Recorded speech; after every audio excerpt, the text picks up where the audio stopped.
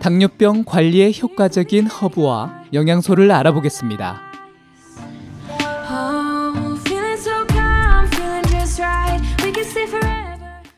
당뇨병 관리에 좋을 수 있는 허브와 영양소 영상 1부에 이어 2부를 시작하겠습니다. 1부 영상에서 당뇨병 관리에 도움이 될 수 있는 향료와 허브들을 알아보았는데요. 2부에서도 다양한 허브들과 당뇨병 관리에 필요한 몇 가지의 영양소를 알아보겠습니다. 여덟 번째, 마그네슘입니다. 여러 연구에 따르면 충분한 마그네슘 섭취는 만성염증을 줄이고 대사증후군, 인슐린 저항성, 제2형 당뇨병을 예방하는 것으로 나타났습니다. 마그네슘은 당뇨병 환자분들의 인슐린 감수성을 개선시켜 혈당 수치를 안정시키는 데 좋을 뿐 아니라 당뇨병을 예방하는 데도 많은 도움을 줍니다. 전문가들은 당뇨병 관리를 위해 섬유질, 단백질, 건강한 지방 섭취도 좋지만 더 우선적으로 생각해야 하는 것이 바로 마그네슘이라고 밝히고 있습니다. 마그네슘이 충분하지 않으면 인슐린 저항성으로 인슐린의 기능이 떨어져 혈당 수치가 증가하게 되고 그로 인해 췌장의 베타세포에서는 인슐린을 더 많이 만들어내어 악순환이 계속될 뿐 아니라 과부하가 발생해 췌장의 베타세포가 손상될 수 있습니다. 마그네슘이 풍부한 식품으로는 호박씨, 시금치, 아몬드, 캐슈, 땅콩, 검은콩, 카카오 함량이 높은 다크 초콜릿, 아보카도 등이 있습니다. 아홉 번째, 계피입니다. 계피는 당뇨병 식단에 큰 도움이 될 수 있습니다. 일부 연구에 따르면 계피가 제2형 당뇨병 환자의 혈당을 조절하는 데 도움이 된다고 밝히고 있는데요. 2013년도에 한 저널에 발표된 연구에서는 계피가 식후와 공복혈당 수치를 낮추고 나쁜 콜레스테롤 수치를 감소시키는 것으로 나타났습니다. 그 외에도 다양한 연구에서 계피가 당뇨병 관리에 좋다는 것이 증명이 되고 있습니다. 또 다른 연구에서는 25가지의 향신료와 허브를 대상으로 항산화 성분이 얼마나 함유되어 있는지를 비교한 연구가 있는데요. 이 계피가 정향 다음으로 두 번째로 항산화 성분이 풍부하게 함유된 것으로 나타났습니다. 이처럼 계피가 혈당 감소에 좋다는 연구들이 많이 있지만 혈당 감소를 위한 복용량은 명확한 기준이 없는 상태입니다. 그런데 계피 복용량과 관련된 아주 흥미로운 연구가 있습니다. 이 연구의 흥미로운 점은 계피 1g 섭취와 6g 섭취 모두 같은 혈당 감소량을 보였다는 점입니다. 실롱 계피가 아닌 카시아 계피에는 쿠마린 성분이 함유되어 있어 다량 섭취하게 되면 부작용이 발생할 수 있는데요. 이러한 연구가 있는 만큼 굳이 많은 양을 섭취할 필요는 없습니다. 계피를 소량으로 섭취하는 것이 쿠마린의 부작용을 걱정하지 않고 당뇨병을 관리하는 데 도움이 될 수 있습니다. 그리고 항산화 성분이 더 풍부하게 함유되어 있고 쿠마린 성분이 없는 실롱 계피를 선택하는 것도 방법이 될 수 있습니다.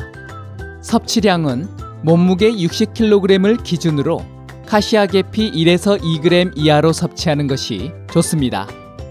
열 번째, 알로에베라입니다. 알로에베라는 제약 관련 제품과 화장품 등 다양한 용도로 사용을 하고 있습니다. 많은 분들에게 피부에 좋은 것으로 잘 알려져 있지만 제2형 당뇨병의 진행을 늦추는 효능도 있는 식품입니다. 2013년도에 발표된 한 연구에서는 알로에베라 섭취가 인슐린을 생성하는 췌장의 베타세포를 보호하고 복구하는 데 도움이 된다고 밝히고 있습니다. 연구원들은 이 알로에베라의 항산화 효과가 당뇨에 도움을 준다고 말하고 있습니다. 그 외에도 콜레스테롤 감소, 염증 치료, 소화기 건강, 여드름 예방, 탈모 등의 좋은 효능이 있습니다. 당뇨병에 효과적인 알로에 섭취량은 아직 명확하게 확립되어 있지 않습니다. 다만 다량으로 섭취하면 부작용이 발생할 수 있으니 적당량 섭취하는 것이 좋습니다. 섭취는 하루 두 번 한 번에 2분의 1컵 정도를 식전 30분에 드시는 것이 가장 좋습니다. 하지만 개인에 따라 다르게 영향을 줄 수 있으니 자신에게 맞는 양을 정해 드시는 것이 좋습니다. 11번째, 아연과 크롬 영양소입니다. 굴과 조개류에 풍부하게 함유되어 있는 아연과 크롬을 섭취하는 것이 좋습니다. 아연은 인슐린을 분비하는 췌장의 베타 세포가 파괴되는 것을 억제하고 세포를 건강하게 유지시켜 인슐린 대사를 향상시켜 줍니다. 크롬은 인슐린이 제 역할을 할 수 있게 도와줍니다.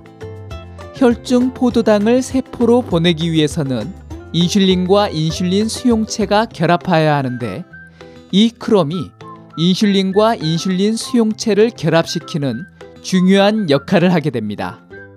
굴과 조개류와 같은 아연과 크롬이 풍부한 식품을 식단에 포함시키거나 보충제 섭취도 고려해 볼 만 합니다. 보충제 섭취 유무는 담당 의사와 상담을 통해 결정하는 것이 좋습니다. 12번째, 여주입니다. 여주는 쓴맛을 내는 모모르데신 알칼로이드 식물 화합물, 카란틴 성분, 폴리펩티드, 렉틴이 함유되어 있어 당뇨병 관리에 여러 가지로 도움을 줍니다. 모모르데신 알칼로이드는 인슐린과 유사한 역할을 하고 카란틴은 췌장 베타 세포의 인슐린 생성 능력을 개선시켜주며 폴리펩티드 렉틴은 혈당 수준을 건강하게 유지시켜 당뇨병을 관리하는 데 좋습니다. 그리고 심혈관 질환과 같은 당뇨 합병증의 위험을 감소시켜 주는데요. 정기적으로 섭취를 하면 뇌졸중과 심장병의 위험을 증가시키는 나쁜 콜레스테롤 수치를 감소시켜 줍니다. 그 외에도 당뇨와 밀접한 관련이 있는 비만과 과체중인 분들의 신진대사를 촉진시켜 체지방 감소에도 좋은 역할을 합니다. 요주는 씨앗의 독성이 있어 설사와 구토 등을 유발할 수 있으니 제거하는 것이 좋습니다.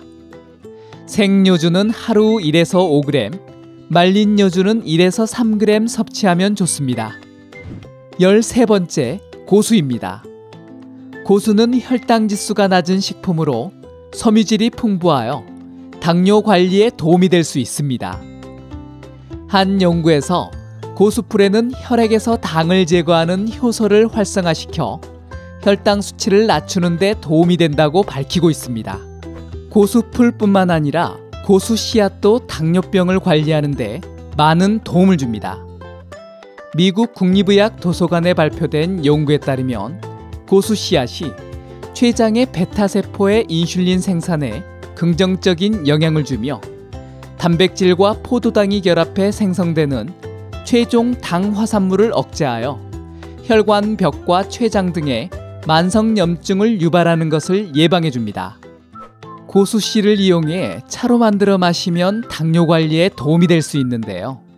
고수 씨 밥숟가락으로 한 스푼을 물 250ml에 넣어 끓여 마시면 됩니다. 지금까지 1부와 2부를 통해 당뇨에 도움이 될 수 있는 식품, 허브, 영양소들을 알아보았습니다. 각 식품과 허브에 제시된 섭취량은 개인에 따라 다르게 영향을 줄 수 있습니다. 자신에게 맞는 적당한 섭취량을 모니터링을 통해 결정하는 것이 좋습니다. 도움이 되었나요? 그렇다면 구독과 알람 설정 잊지 마세요. 감사합니다.